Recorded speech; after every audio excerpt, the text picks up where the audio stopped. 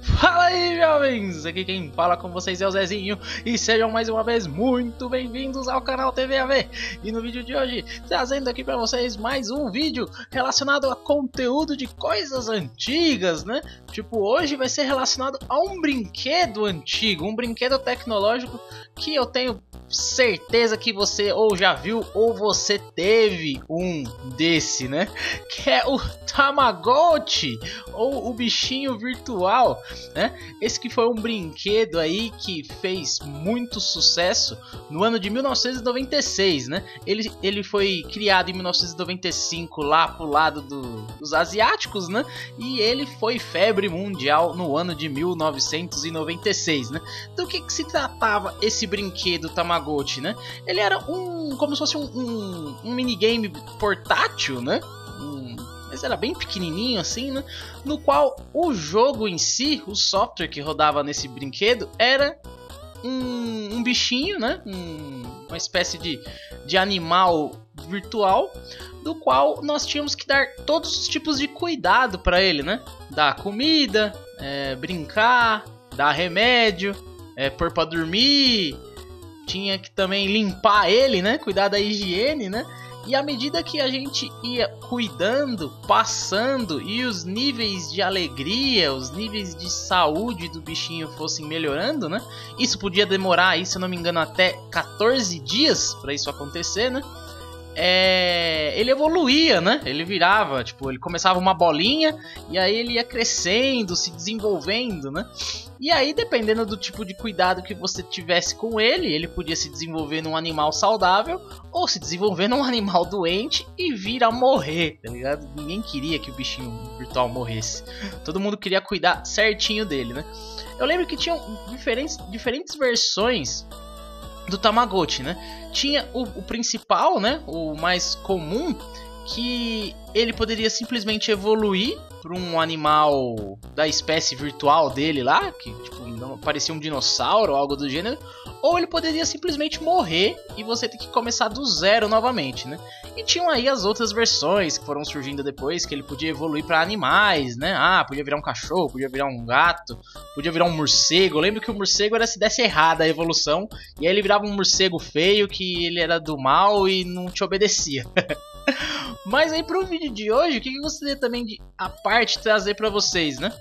Que no ano de 2017 a febre do Tamagotchi voltou lá pra Ásia, né?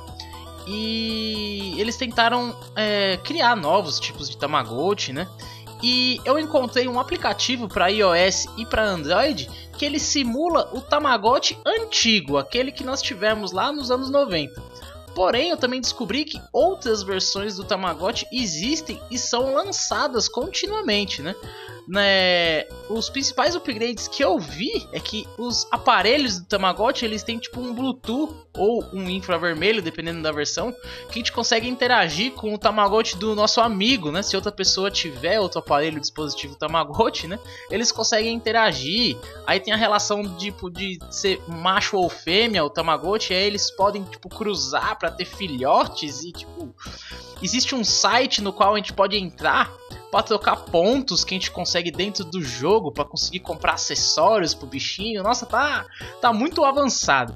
Porém, para esse vídeo eu gostaria de trazer o aplicativo que eu encontrei para esses dispositivos móveis, né? No meu caso aqui Android, que simula o bichinho virtual que a gente tinha lá em 1996, cara, que eu achei muito legal e ele tem alguns como posso dizer, alguns pontos a mais, alguns pontos em adicionais. Beleza? Vamos ver como funciona esse bichinho virtual. Pronto, ó, estamos aqui, ó. O aplicativo se chama Wild Goat, né? Seria tipo Tamagotchi, só que tipo selvagem, né? Wild Goat, né? E ele funciona como? Se liga aqui, aquela tela polifônica, né? Aquela tipo, só quadradinho, preto e branco, fundo verde, né? O padrão do, do, dos Tamagotchis da época de 1990, né? 1996, né? Dos anos 90. E funciona da seguinte forma. É, nesse aqui, nós temos já um diferencial que a gente pode escolher o tipo de bicho que ele vai virar, né? Se eu não me engano, eu escolho aqui, ó. Ele pode ser um panda.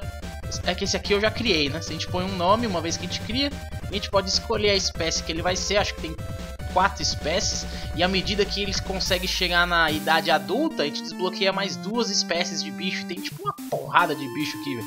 Aí dos iniciais eu peguei um panda escolhi ele ser macho, a idade dele, ó. Ele tem menos de um dia de vida estágio de vida dele, ele é uma criança e a maturidade dele está em 33%. Aí que nós temos aqui, ó, nós temos a barra de fome, a barra de energia, barra de higiene e barra de diversão. Tipo, de ontem pra hoje eu fui logar só agora, então ele tá todo cagado, coitado. Tá literalmente cagado, ó. Um cocô aqui. Aí o que a gente faz, ó? A gente aperta aqui o botãozinho de água, vai dar um banho nele, ó. E aí a higiene dele subiu, tá vendo? Tá no máximo. Aí a barra de fome, a gente vem aqui, ó, esse aqui é a fome. Aí tem tipo uma água, acho que é aqui. Aí dá água pra ele. Aí a barra de fome vai encher. Aí, ó.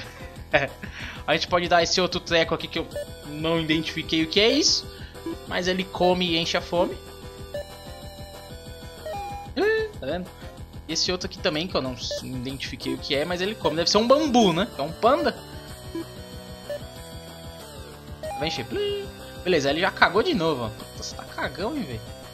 Aí se liga, ó, tá com a fome, energia e a higiene cheia. A energia é com relação a sono.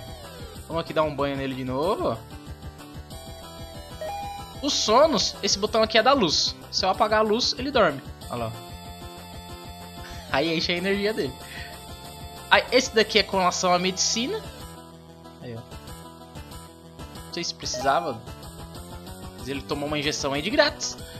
E essa aqui é com relação à diversão dele, ó. Tem tipo uns joguinhos aqui, ó. Jogo. Pulo infinito, ó. Pode ser enquanto ele tá adolescente. Aí depois, quando ele for adulto, muda o jogo. Beleza, vamos jogar esse aqui pra ele ficar alegre. Aí, aqui. A gente controla aqui, ó. E vai subindo. É tipo um joguinho de plataforma, só pra ele escalar. Pra gente brincar e ele ficar feliz. Eu lembro que na versão que a gente tinha, pelo menos aqui eu tive, portátil lá do Tamagotchi, era um Joaquim Pover. Ficava tipo uma partida de Joaquim Po. Caramba, tem que ir jogando pra ele ficar feliz, velho. Tentar chegar tipo nos 3 mil pontos, vamos ver. Aí eu lembro que o... o Tamagotchi, o que a gente tinha, né? Lá do equipamento eletrônico, ele apitava sempre que ele queria alguma coisa, né? Esse daqui eu vi que ele tem alguns pontos diferenciais. A gente viu que tem aquela barra lá de fome, barra de diversão, barra de higiene e tal. Esse aqui, como ele funciona no dispositivo móvel, a gente consegue configurar uma vez que se a gente é, permitir que o aplicativo acesse o nosso telefone, né? Tem lá as permissões de telefone.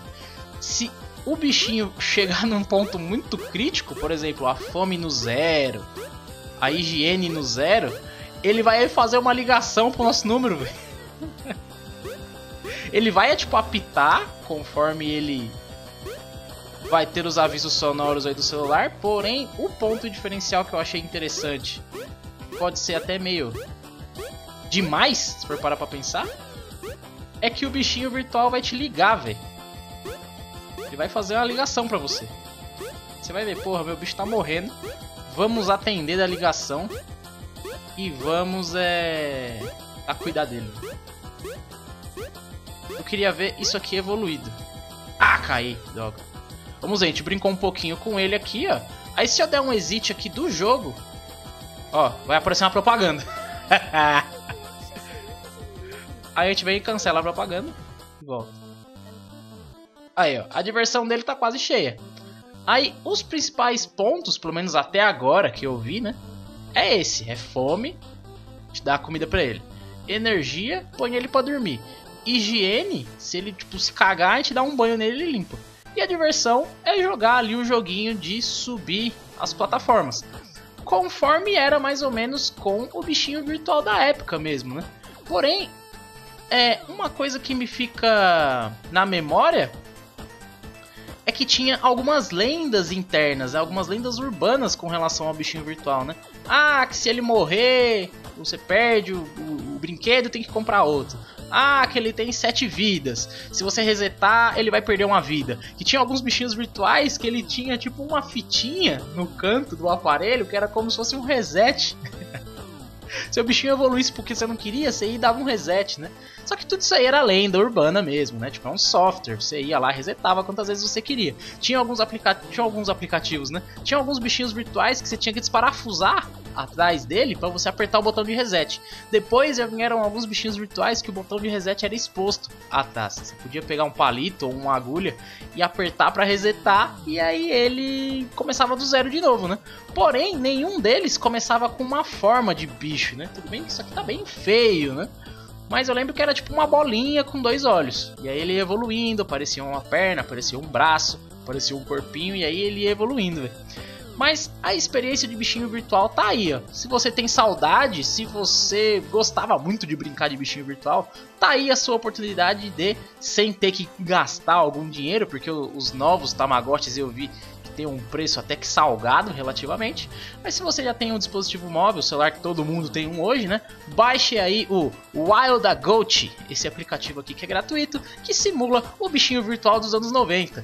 Então, jovens, pro vídeo de hoje foi isso. gostaria de trazer essa sensação de nostalgia para todos vocês e ver aí que existe o tal do bichinho virtual ainda, se você quiser brincar. Se vocês gostaram do vídeo, já deixa o like. Se não forem inscritos no canal TVAV, por favor, se inscrevam. Se quiser deixar aí nos comentários alguma coisa relacionada relacionado a algum vídeo que vocês gostariam de ver, algum conteúdo relacionado ao canal TVAV que vocês gostariam de ver futuramente, deixem aí nos comentários que eu gosto muito de ler os comentários de vocês. Beleza então, jovens? Eu agradeço a todos que assistiram o vídeo até aqui. Muito obrigado por tudo, muito obrigado por todos e até o próximo vídeo, jovens. Valeu!